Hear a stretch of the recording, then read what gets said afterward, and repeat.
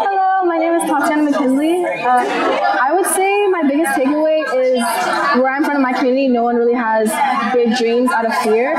And so to be the first to be able to even come to Harvard itself, regardless if I'm attending or not, is a really big thing. And also the school I go to, that's the highest anyone has ever achieved was University of Texas at Austin.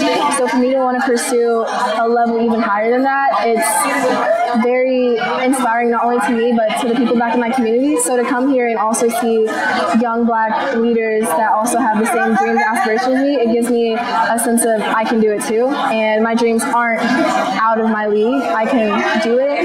A case I vote to anyone that wants to come here as a young black person, um, just just just do it. Like just do it. Everyone here probably has the same fear of oh it's gonna be difficult, it's gonna be hard. Like all these T14 law schools or just in general that people in your community are like don't do that, don't do that.